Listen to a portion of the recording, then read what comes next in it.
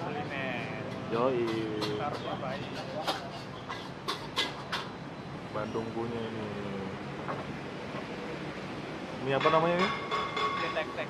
Mie tek-tek ya?